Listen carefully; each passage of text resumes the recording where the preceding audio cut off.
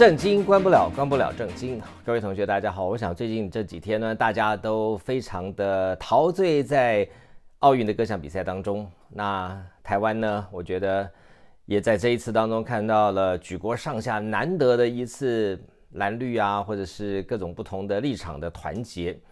那看到我们的体育选手呢，能够拿下金牌，那真的是非常的、非常、非常的开心啊！应该是共看奥运应垂泪，一夜相心五处同。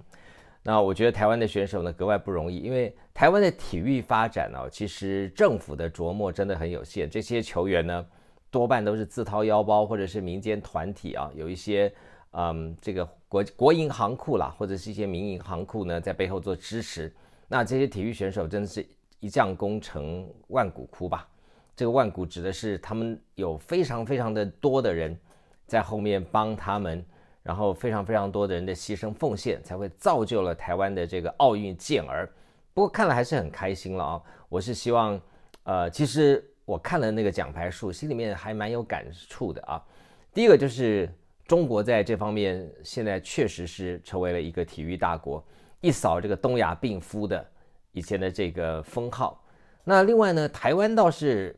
我我如果用论人口来讲，我觉得远远不及日本跟韩国啊。我们的人口呢是人家的大概三分之一、四分之一，可是我们的总奖牌数却差得很远啊。同样是亚洲，所以这个可能跟我们的整个体育政策、跟国家资源的挹注，还有这个政府对于体育的关心有很大的关系。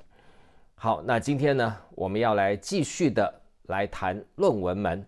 昨天非常开心的是，走度过了十周年的主持争论节目啊，这个却顾所来径，这个一看过去所走过的路，心里其实是满满的感谢跟感动。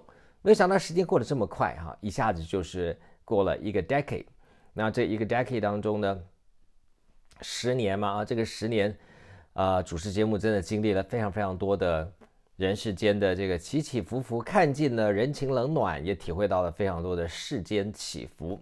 可是这一切都非常的值得。再一次谢谢宇宙真音学院的同学们。昨天很多人的留言超级多，昨天有来自各方的留言，我加了一加，大概有两三千封的这个各种各样的留言。那非常的谢谢。好，今天呢，我们要再来细数。昨天讲到就是开始进入了正经。关不了的这个节目，那震惊关不了的节目呢？我如同这个节目的名字，我跟大家许下的承诺，这个节目当然就是关不了。那关不了的意思是什么呢？就是这五年来，这个节目没有停过。五年啊，这是五年哦，就从二零一九年的五月一号开始，对，五年到现在五年三个月没有停过。好，那么。在这个五年三个月、将近两千天的日子里，我们非常非常多的收获。那也有人在问说，那这么多的这个证据，为什么蔡英文还是没有办法被抓起来？那那就要问台湾的司法、台湾的舆论、台湾的知识分子。那这个东西是考验历史，在考验这一群人嘛？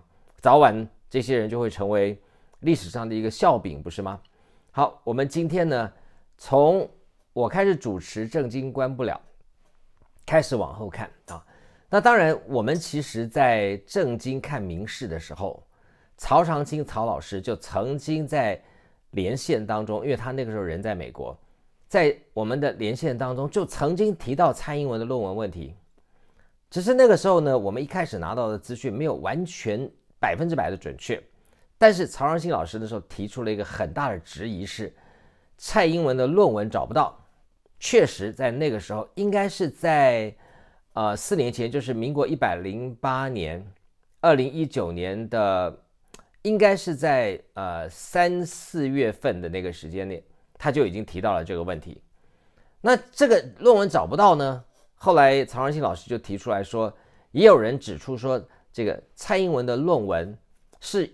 和写的，他这个部分也讲对了，可是他说呢，有人提出来说是吴钊燮替他这个呃代写的啊，到目前为止没有办法证实啊，因为坦白讲，如果说是吴钊燮代写的，那真的是侮辱了吴钊燮哈，因为一个正大国关中心的研究员，一个教授，怎么可能写出像蔡英文那种论文呢？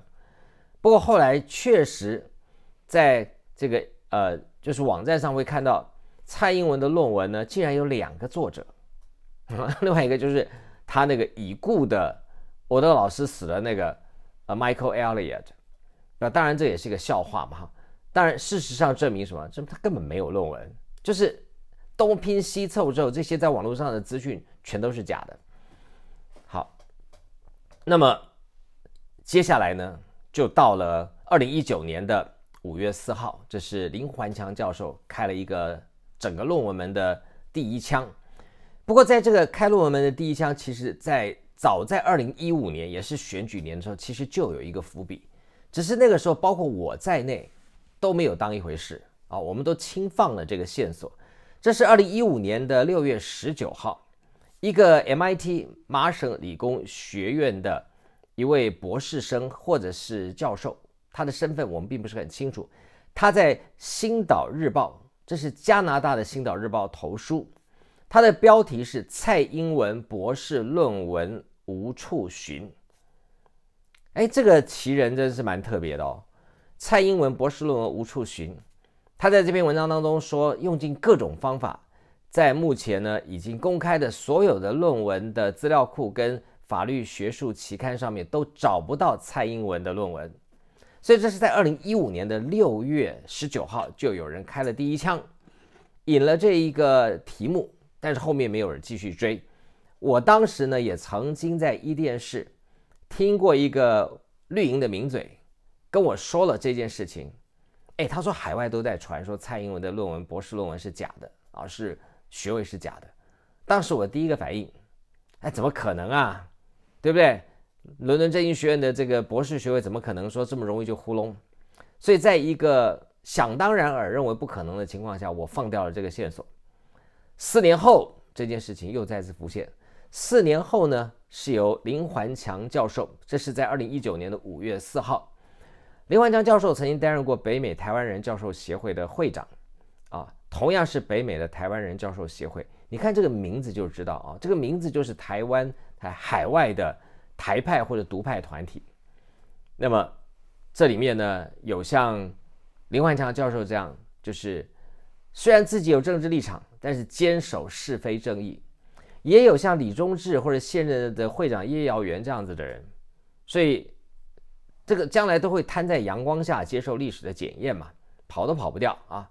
好，这个二零一九年就是民国一百零八年的五月四号，林焕强教授呢，他展开了他的第一封信，去向伦敦政经学院用 email 开始进入一连串的询问，这个是整个论文门破案的最大关键。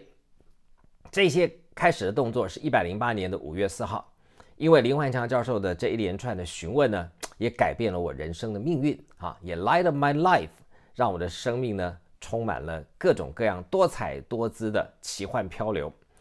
好，这个五月四号去询问的结果呢，就有了一连串的回应。那么这一连串的回应呢，林焕强教授曾经把这些相关的东西寄给了贺德芬教授跟我，但是因为我的电子邮件太多信了，我到目前为止，我的电子邮件累计的未读的信有八万多封，将近九万封。你你没觉得我在开玩笑？其实不是，我的电子邮件的这个邮件信箱是大概二十年前就有了吧，二三十年前就有的哦，不止哦，对，差不多差不多大概二二十年前。那很多群组的信就会越来越多，越来越多，再加上一些垃圾邮件。所以，我到后来啊，当我的这个未读邮件超过三千封还是四千封的时候，我就开始只挑我认识的读，不是像以前就是说会电子邮件全部看啊，那不看不不是认识的，或者是这个垃圾邮件再删掉。我后来干脆不删了，我就挑那个认识的人的才回，才点开来看。就因为这样子，圆坑一面，错过了林怀江教授的这个电子邮件，还好贺德芬老师。有把这个戏读完啊，所以那个时候，呃，林焕江教授有寄信给我，但我我没有看，贺德芬老师看了，贺德芬老师看了之后呢，他就在两个多礼拜后，就是二零一九年的五月二十号，就是蔡英文的这个就职的当天，给他当头棒喝。贺老师开了一个记者会，这个记者会呢叫做这个呃，就是他就就开了一个跟另外一位台大的教授啊联联合合开了这个记者会。他说蔡英文的论文在全世界的图书馆都找不到，因此点燃了台湾社会的论文们的质疑。这是一个历史的里程碑，这应该也算是整个蔡英文论文门的第一场，也是关键性的一场记者会。来，让我们来回味一下这场记者会。接段广告，马上回来。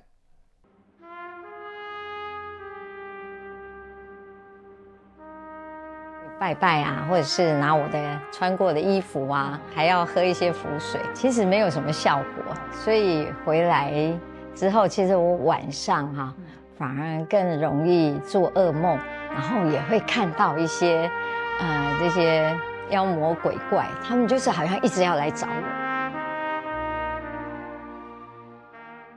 来自台东的水蜜桃芒果，宇宙正经学员铁粉的推荐，正经小编的亲自试吃挂保证，一开箱就是扑鼻的香气，甜中带酸，富有层次的口感，令人忍不住一口接一口。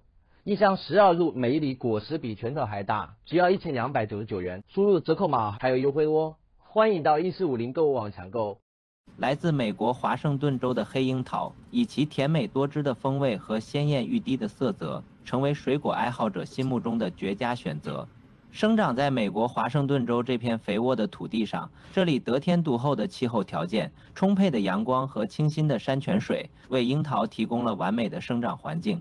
每一颗华盛顿樱桃都在精心的呵护下茁壮成长，保证了其卓越的品质。樱桃富含维生素 C、纤维和抗氧化剂，对健康大有助益。现在输入折扣码“郑文灿被关”就能折抵一百元哦。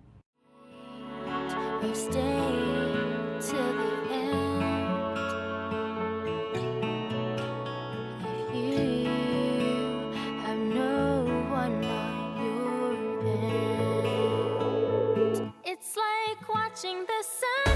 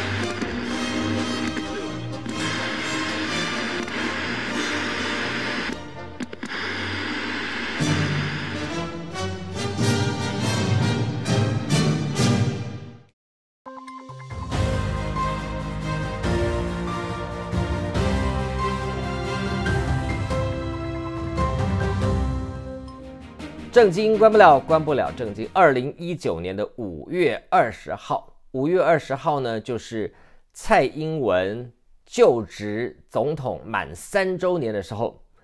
台大名誉教授贺德芬也是蔡英文的台大法律系的老师，送给了他的学生一份贺礼，就是召开了一个记者会。这个记者会当中呢，把蔡英文的论文找不到这件事情呢。给揭露了出来，也因为这场记者会呢，引起了我极大的兴趣。那我为什么要管闲事呢？坦白讲，我没什么理由要管闲事。有人说，哦，是因为这个蔡英文把我的这个民事节目关掉了啊，所以我这个狭怨报复。好，这个就是 这就是我们的台北地检署检察官黄伟的程度。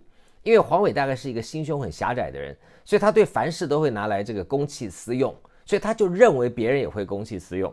所以他竟然用这种这个猜测啊、读心的方法啊，那他如果真的这么认为，也应该抓我去测谎一下吧？没有没有，他完全就是隔空打牛的方式，认定了我的犯罪动机。他就说：“哦，我就是这个，因为这个侠怨报复啊。”但不过当然了，他这个我我连犯罪都称不上。我常说嘛，这个中华民国政府欠我我一个什么大寿锦星勋章啊，对不对？这样的事情。我为台湾社会除弊，揭露了这么大的一个跨国的诈骗集团，不管是警政署、内政部、国安局或者总统府，都应该颁我勋章才对啊。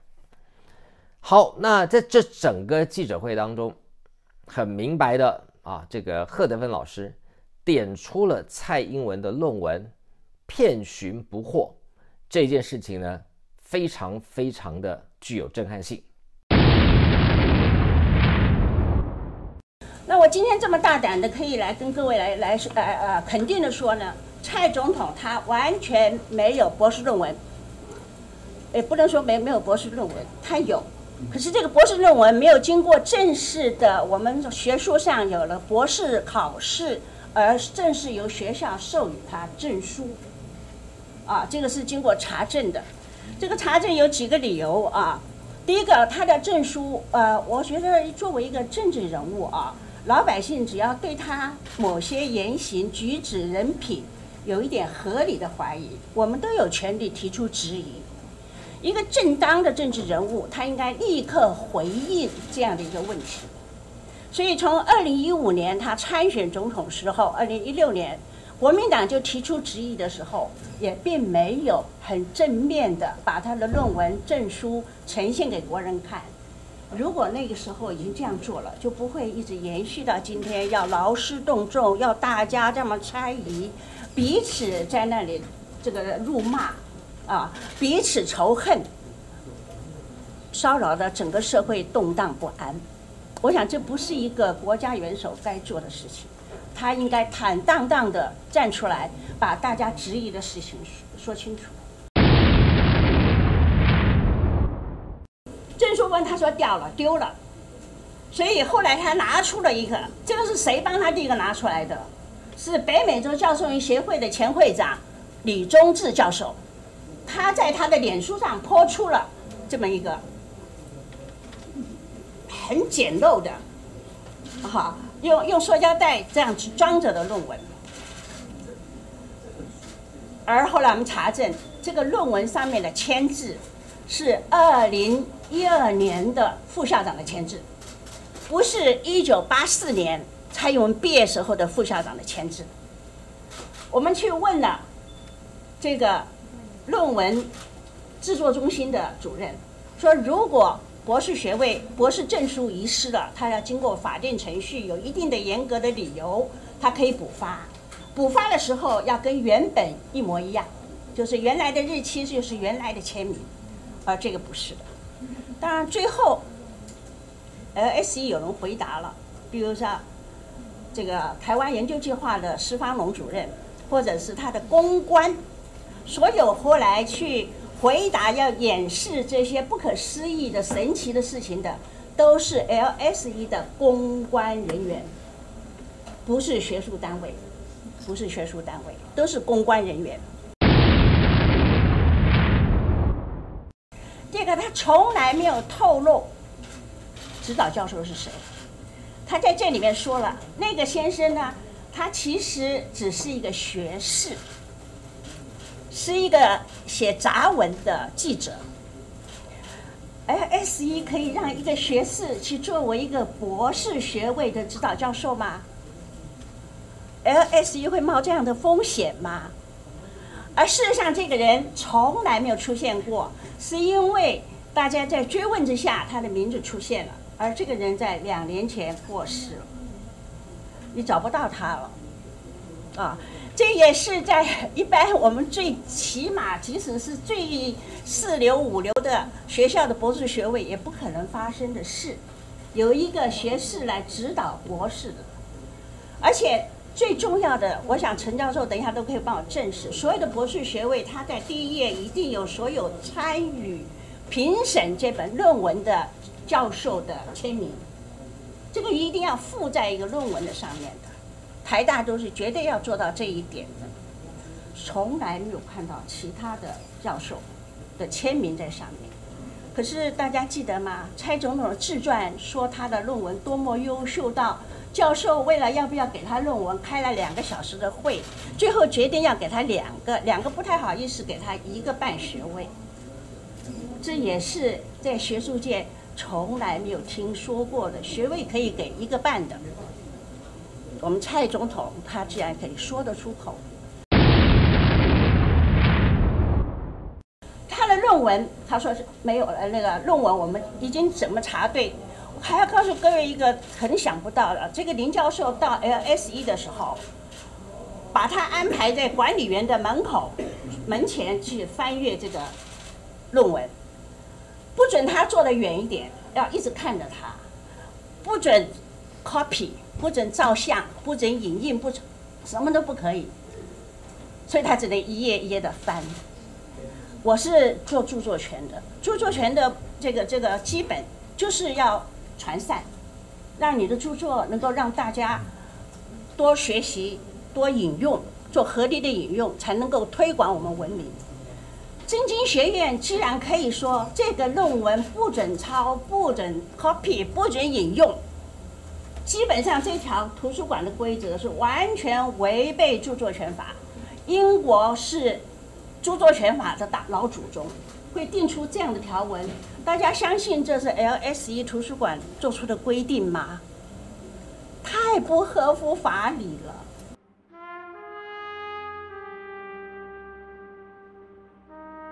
姐也曾经问过我说，她很愿意为我祷告了，但我都不太愿意。我觉得我好像都还好，耶我都说那就是为国家祷告啊，国泰民安啊，大家都很平安就好啊。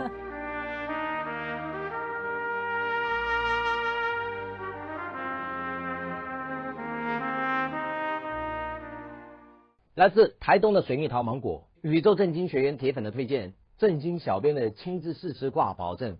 一开箱就是扑鼻的香气，甜中带酸，富有层次的口感，令人忍不住一口接一口。一箱十二入，每一粒果实比拳头还大，只要一千两百九十九元，输入折扣码还有优惠哦。欢迎到一四五零购物网抢购。来自美国华盛顿州的黑樱桃，以其甜美多汁的风味和鲜艳欲滴的色泽，成为水果爱好者心目中的绝佳选择。生长在美国华盛顿州这片肥沃的土地上，这里得天独厚的气候条件、充沛的阳光和清新的山泉水，为樱桃提供了完美的生长环境。每一颗华盛顿樱桃都在精心的呵护下茁壮成长，保证了其卓越的品质。樱桃富含维生素 C、纤维和抗氧化剂，对健康大有助益。现在输入折扣码“郑文灿被关”就能折抵一百元哦。为您介绍卢卡洗护发组，来自台湾的顶级沙龙品牌，可以有效解决油头、塌扁发、头皮屑、头发打结等秀发问题。经过正经小编们亲自试用，两三天不洗头、不油也不塌。试用影片请见一千四百五十官网。任选两款洗发精加一款护发乳，只要一千三百九十元。今天使用折扣码恢复盈利，就能再折抵一百元，优惠有限，请尽速抢购哦。we stay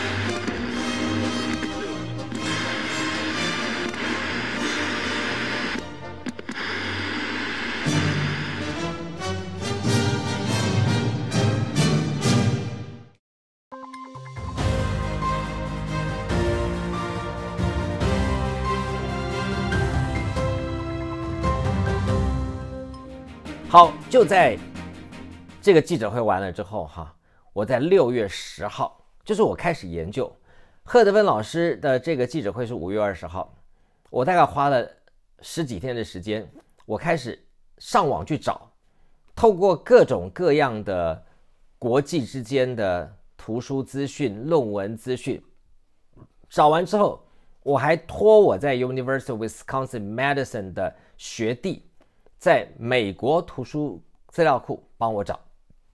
我说有没有可能是网络上的东西找不到？你可不可以到这个学校里面去帮我找？啊，因为学校之间的图书馆比较有联通嘛，也可能说哦，他他这个收藏了，但是没有上网，但是在学校之间呢是可以查得到的。我后来得到的答案是没有，就是没有啊。那我就觉得很奇怪。但我这个人是这样子，我不会道听途说，我会想一想，我会用我的研究方法呢，做一阵子的观察跟搜集。所以我记得那个时候，我好像还有叫我在英国的朋友，到英国的图书馆的体系当中也查了一遍，答案还是一样，没有。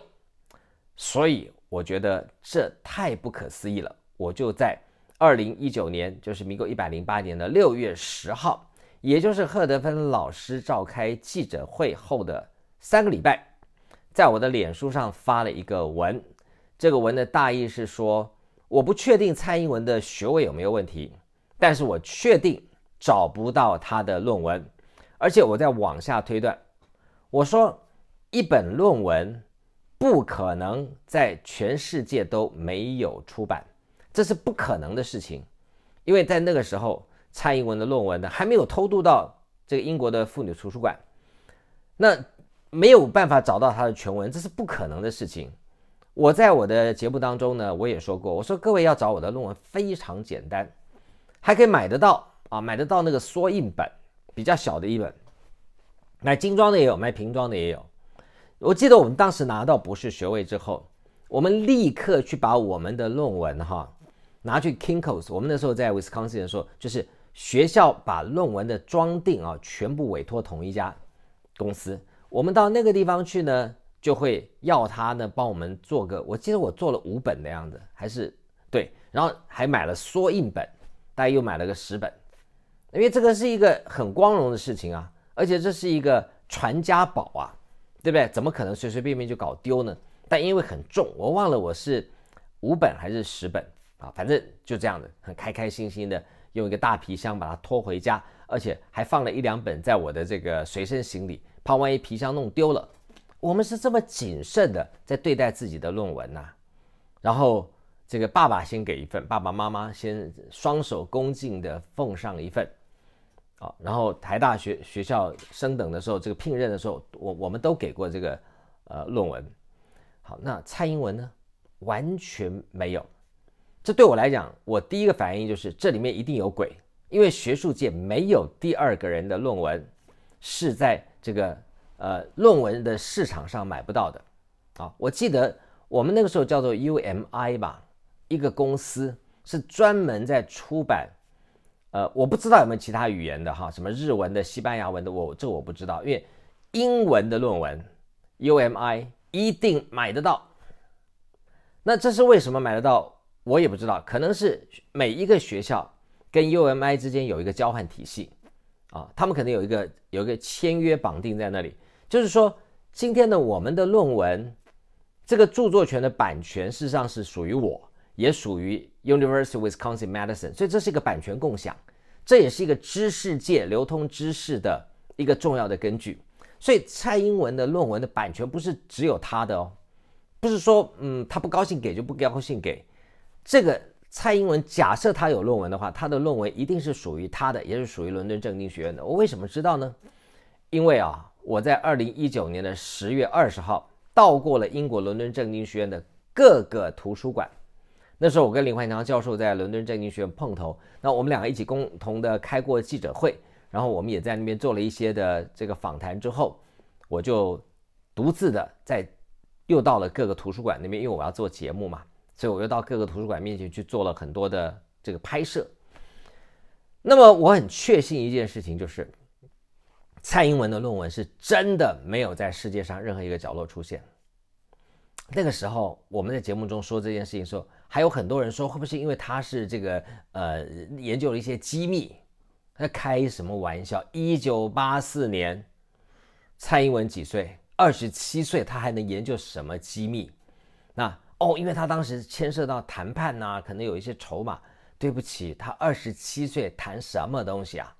二十七岁他根本就什么都不知道的时候，所以这本论文呢，肯定是从来没有发生过。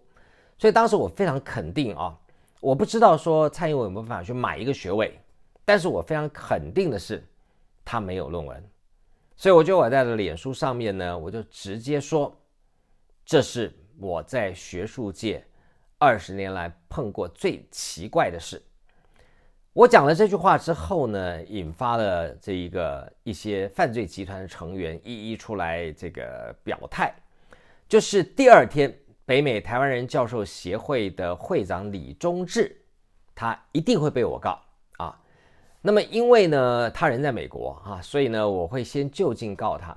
不过不急啊，这牌要慢慢出。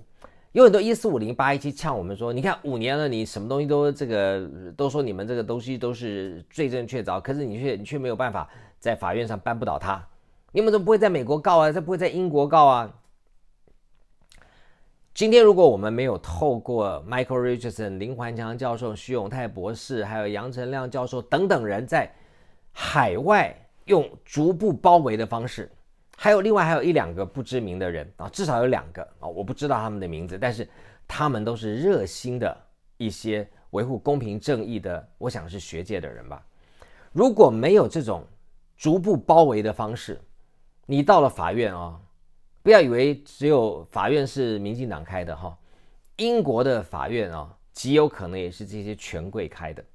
那你会得到的结果，就像我们在行政法院中也会碰到一审的法官。直接说我们 vexatious 就是无理取闹，直接就把我们给驳回，什么都不说。但是如果不是我们这么有耐性，这么有策略的去包围，今天绝对拿不到关键的证据。所以我要再一次谢谢在海外的这一些朋友们啊。那么，因为我们一步一步的步步逼近，而不是抱虎平和说好，我一下就去告他刑事，一告他刑事，万一哈。就碰到这些恶官，跟台湾有恶官，英国也有啊。到头来跟你说，你们无理取闹，你们是中共同路人，所以直接把这个案子给牵结、给封杀了。那我们还可能一事不二理，那么不是自己给自己打个耳光吗？所以到目前为止，如果我回顾过去五年我们的诉讼策略，也许有些东西不是设计好的啊，就是大家可能分进合集，甚至彼此之间有些诉讼行动还没有完全没有联系。但是我想，上帝的手始终在这当中。就是说，我们在一个没有完全经过精密设计的情况之下，于今天想起来，我觉得这个布局是非常完整的，而且非常巧妙的，让蔡英文无所遁形。好，那么这个李忠志呢，就贴出了蔡英文在二零一五年补发的伦敦政经学院的证书的照片。首先，我们要问啊，李忠志，你怎么会有蔡英文的二零一五年的毕业证书呢？因为蔡英文自己本人都找不到，为什么？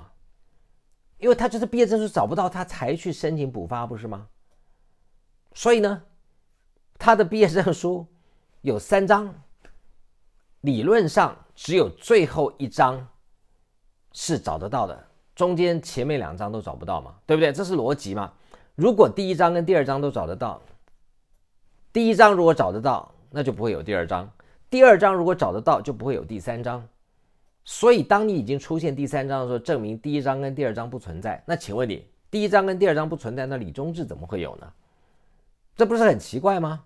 这李忠志是蔡英文的闺蜜，蔡英文找不到的东西要请他找，还是李忠志是蔡英文的账房，还是李忠志是蔡英文他们家的管家兼？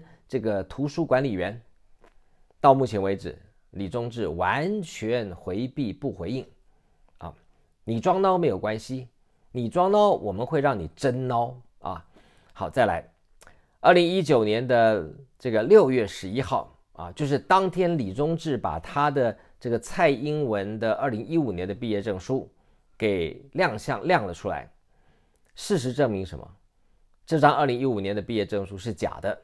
因为在英国伦敦政经学院内部的电子邮件当中，已经证实了蔡英文的这一张毕业证书 is clearly a fake 啊！如果有恶官三丛书的人在封面就可以看到这是假的，所以李忠志应该负担什么样的民刑事责任？到头来呢，就咱们在法庭上较力了啊。好，当天呢，我做节目的人，我当天就觉得，哎，好了，有回应了，所以我就把贺德芬老师请到节目当中来，在震惊关不了当中呢，就交手了。那震惊关不了的这一集啊，贺老师在我们的节目当中又再一次的直截了当的点出蔡英文她的论文不存在。那因为论文不存在，根据当时的规定，他就不可能拥有博士学位。所以当天我们斩钉截铁的认证了这个事实。我们再来看看，把时光这个隧道再回到，把这个时间拨到二零一九年，就是民国一百零八年的六月十一号，正经关不了的节目当中，也是我们节目开播后一个月又十天，贺德芬老师呢，在我们的节目当中直接指称蔡英文的学位造假。我们后来就有人去要看他的论文，因为在二零零六年、零五年有人提到，就是带过去了。那个时候我们大家都太爱蔡蔡英文了，太爱小英了，所以对他这个现象事我们都包容，哎，我们都包容，都不愿意去深谈啊。那他就去查，他就是。呃，是最近的信，这个信绝对不是说是旧案的啊，嗯是二零一九年六月六号是最新得到的。嗯那就有美国的学者写信到 LSE 的图书馆，也有名有姓啊。这个姓名我这样暂时都不需要去揭露啊，都是有名有姓的信。这个人是说去呃，请他告诉我们这个这个论文，结果回信说这个论文 missing 了。Missing 不在了，或者 never received，对。他从来没有收到过蔡英文这个博士的论文的版本，包括他自己本身的大学图书馆，包括他的高等法律研究院的那样的图书馆，或者他本身的自己的那个呃分支机构的，没有任何呃图书馆有他的一个版本。所以这个我们对他就是非常的蹊跷。当时你也给我一个表，就是说他的呃论文，一九八四年题目、我们都很清楚，可是他上面说他自己设限。不准公开，对那这个情形其实是很稀少的，因为一般得到呃这个学位的话，高兴都来不及，希望大家分享他的成绩啊。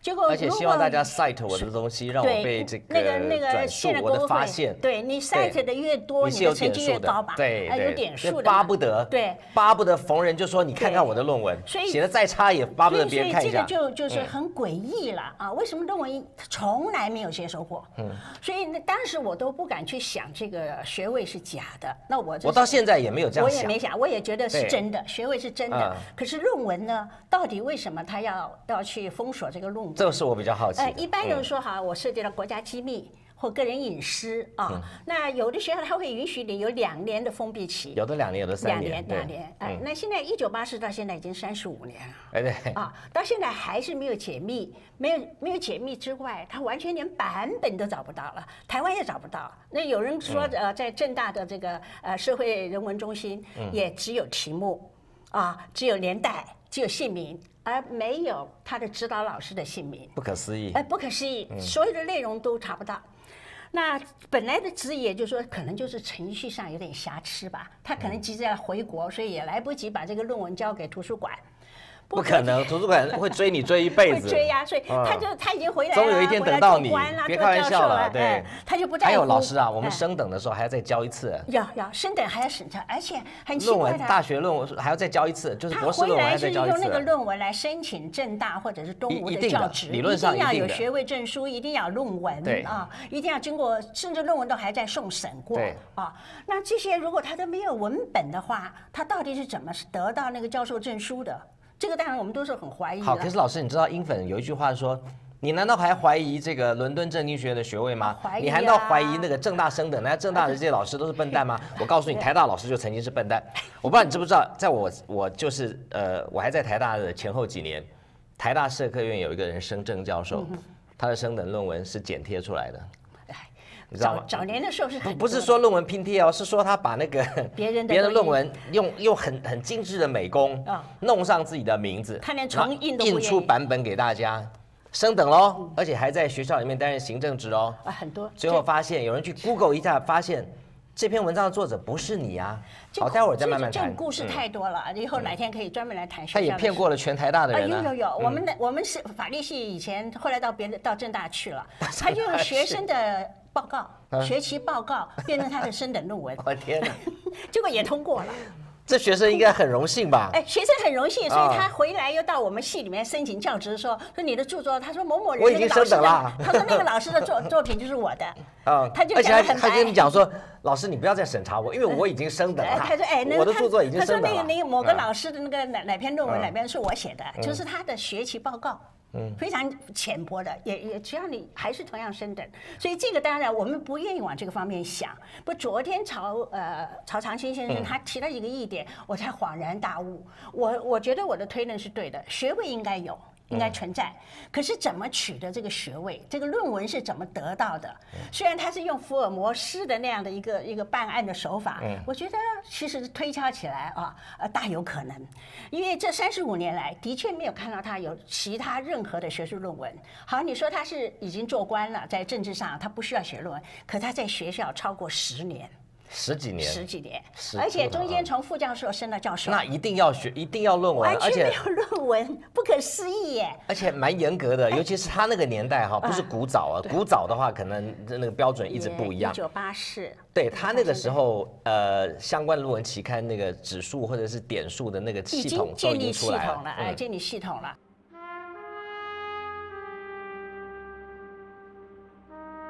姐也曾经问过我说，她很愿意为我祷告啦，但我都不太愿意。我觉得我好像都还好，也我都说那就是为国家祷告啊，国泰民安啊，哦 大家都很平安就好温柔哦。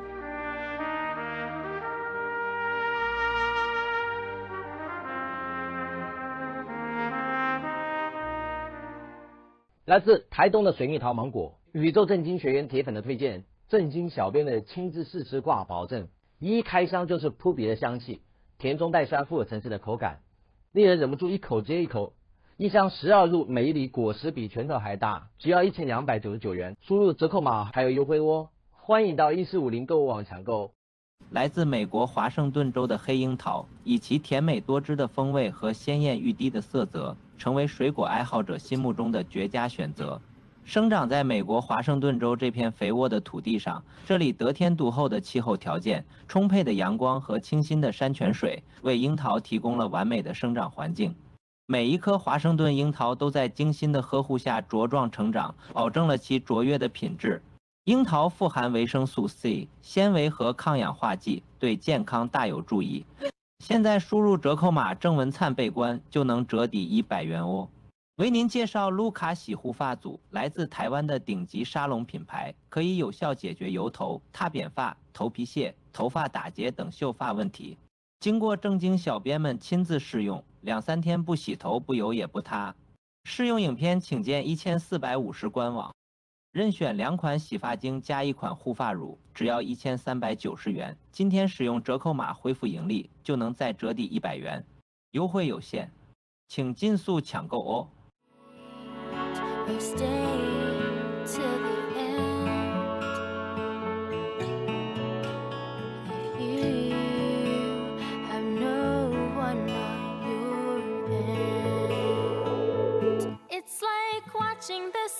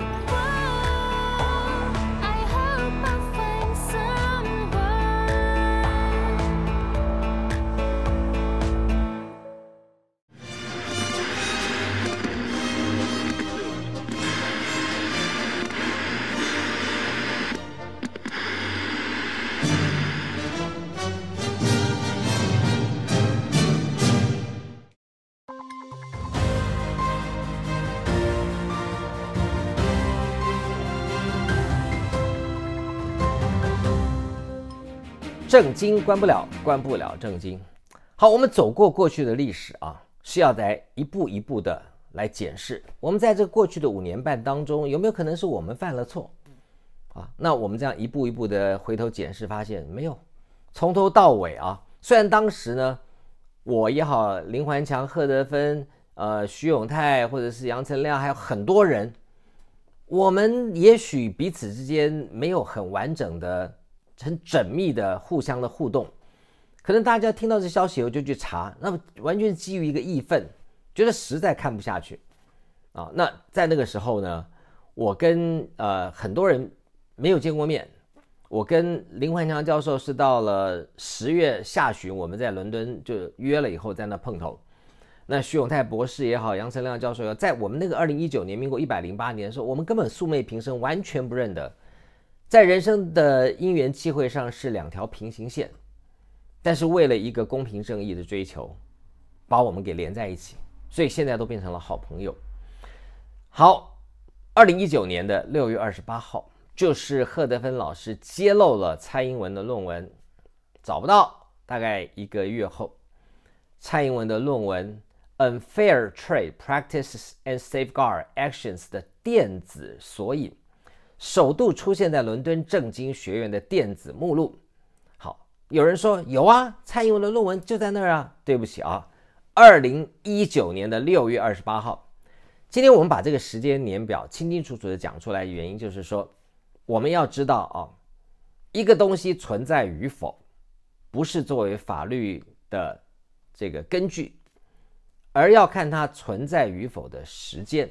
时间是非常重要的，这就是这个相对论里面出现的第四度空间，就是有一个东西呢出现在现在，跟出现在唐朝是不一样的，是完全不一样的东西，就算长得一模一样。但是因为加入时间的维度以后，这两个一模一样的东西是不一样的，所以今天呢，蔡英文他所谓的电子书目的连接 “unfair trade practices and safeguard actions” 这个连接呢，事实上是假的。为什么？因为一个一九八四年毕业的毕业生，他的电子连接的书目不可能二零一九年，也就是说毕业后。三十五年才被创造出来，放在伦敦政经学院的图书馆。所以光这件事情，我们就可以大胆的认定，这个背后有人在替他作弊。那各位同学可能不是很清楚，什么叫做电子书目的连接啊？这样说好了，我们在网络上啊，一本这个书或者是一本论文，现在因为电子化以后做得非常的好，就是说它会有电子档。当你把它做成电子档啊，有的是扫描的 PDF 档，有的是把它翻成文字档，那么有的是照片档啊。当你把这个档案呢送到了云端之后，它就会创造一个连接，让全世界的人都可以去阅读或者是下载。所以你看到的会是一个可以点的一个 link，叫做连接嘛，对不对？那这个连接呢，点进去以后，它就会到呃资料库或者云端去把你要的那一本论文给它。呃，调出来，所以你可以看，有的是可以看不能下载，有的是可以看可以下载可以印啊，这当然都不一样。结果妙就是妙在啊，蔡英文的这个 unfair trade practices and safeguard actions 不但迟到了三十五年，在二零一九年的六月二十八号才首次出现在任何一个国家的图书体系当中，本来都找不到的。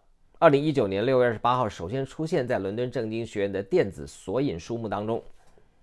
但是，但是打不开，就说它只有一个书目，也就是说它只有一个题目，它没有内容。为什么？因为内容还没有送进去。也就是说，二零一九年的六月二十八号以前，全世界根本没有蔡英文的所谓论文的内容。更好笑的，更绝的是。当时，二零一九年，民国一百零八年的六月二十八号的这本所谓的论文，叫《Unfair Trade Practices Safeguard Actions》。这本所谓的论文，author 作者竟然有两位。好，我们小编把这个画面给大家看一看，这些东西都在云端，都已经储存好几个地方了，跑都跑不掉。所以呢，这个将来没有办法去去交代。现在我要跟各位同学报告的是啊，现在在法庭啊，不管是台湾的法院，或者在英国的法院，或者我们即将要启动在美国的法院，没有人呢敢在这个，就说不像过去四年，像张永会、像黄伟、像刘成武这一类的恶法官哦，还敢很嚣张啊！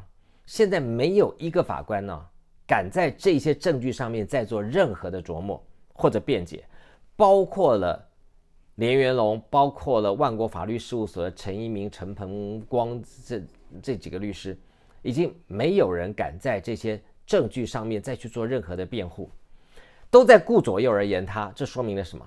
这说明了他们也知道这个东西根本就熬不过去。好，我刚刚讲可笑的是，这个只有连接没有内容的所谓蔡英文的论文，竟然呐、出现了双作者。另外一位作者呢，叫做 Michael Elliott，Michael J. Elliott。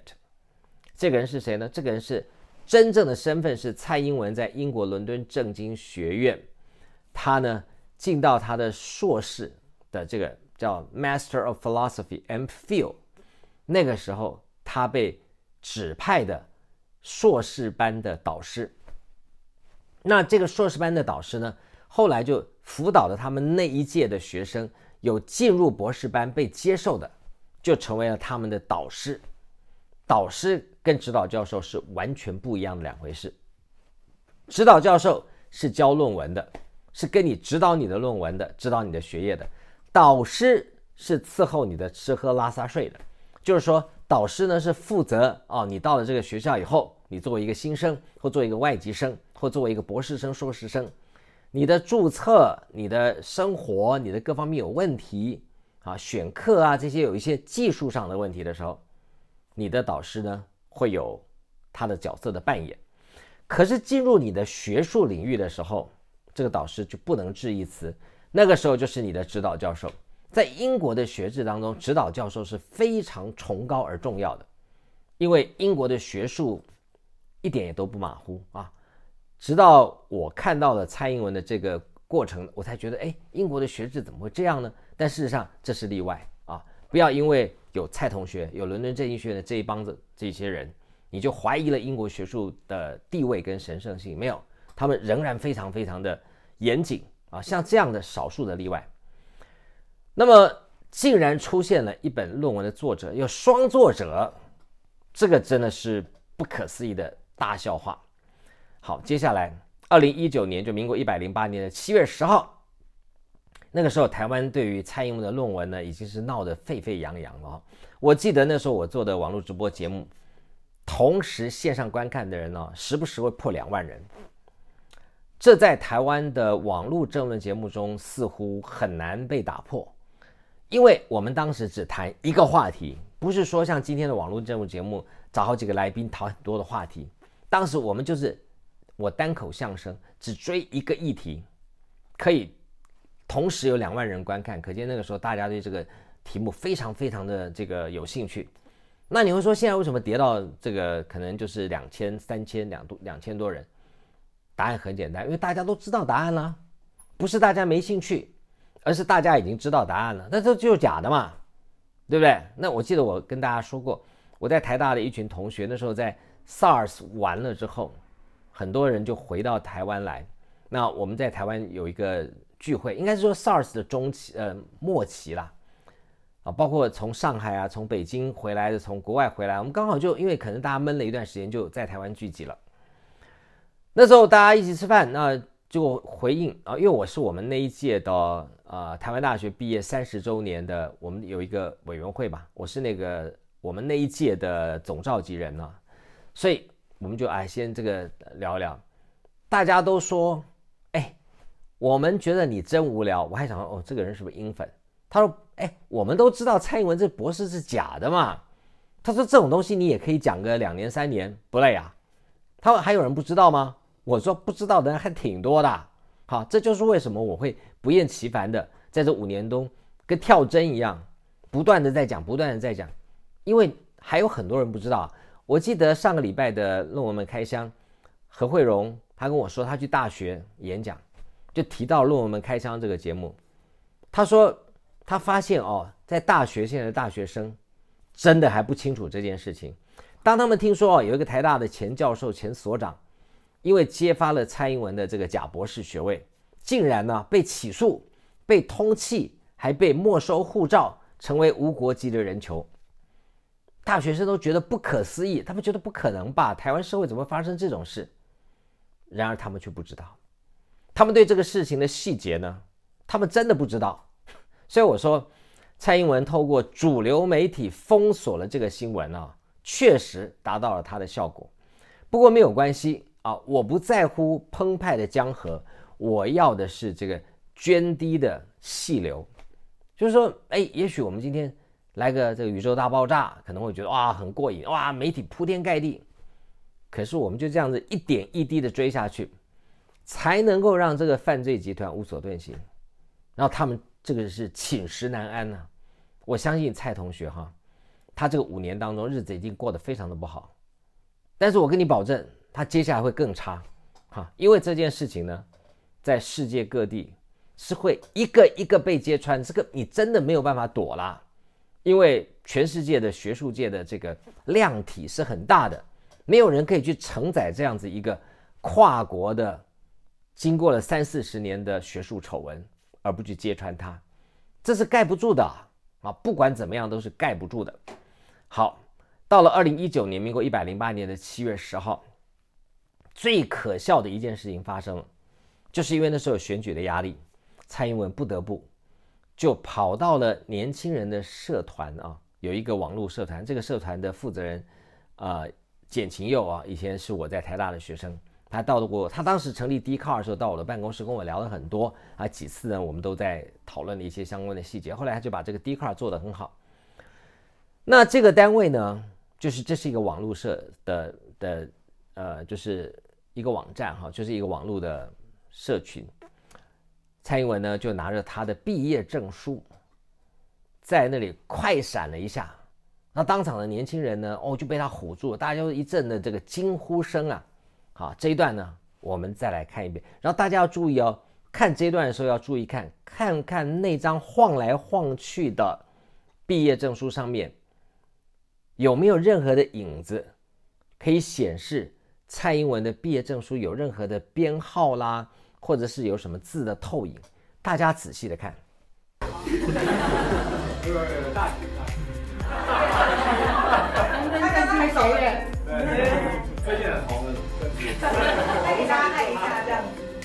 那我们也请记者帮我们进去。可以看到有有钢印，看得到吗？好，这张是蔡英文所谓的二零一五年补发的毕业证书。那么，如果他二零一五年的补发毕业证书真的在他那里，那怎么会有后面补发的毕业证书呢？这不是很奇怪吗？这不是违反了伦敦政经学院的论文这个证书的补发规定吗？还有，刚才快闪了二十秒的这个论文的毕业证书，你们有没有发现一件事情？这个毕业证书上面没有编号，因为他知道这个他不知道毕业证书有编号，所以我们当时一直说他没吃过猪肉，也没看过猪走路，同时还不知道这个《西游记》里面有个猪八戒，也没照过镜子，他就犯了这么一个非常大而非常低级的错误。直到我们在节目中在脸书上面揭穿他之后，这下。他把他的这个毕业证书的编号给他放上去了，在法庭当中亮出来，还不准我们看，不准我们摸啊。不过没有关系啊，这前后一对照就知道了。再者，这个编号不是你说几号就有几号的，因为这个编号是一个挨着一个的。这个论文的编号啊，早就已经在图书馆当中被我们起出来了。我的意思是说，每一个编号，每一个年份，我们都拿到了。但里面就是没有蔡英文的，所以你要挤进去，你挤不进去啦，因为每个编号都有一个人，你总不能搞一个六百三十二点五吧？所以我说蔡英文，你的破洞这个破绽呐、是多到你怎么补都补不下去。那到了七月十号，跑到 d 卡 r 去弄了这么一下啊，骗一骗年轻人啊，最后得到了八亿七万票，但这个八亿七万票呢，是不是也是骗的呢？这个我们不知道。不过。这一切只是刚刚开始，这个谎言在后面是一个一个一个被拆穿。又到了夜深人静的时刻，要跟大家分享上帝的话语。今天要跟大家分享的还是那个大家耳熟能详的，这个非常重要，所以要常常的牢记在心，就是路加福音八章十七节，隐藏的事没有不显露出来的。祝大家平安喜乐，有个愉快的夜晚，我们明天见。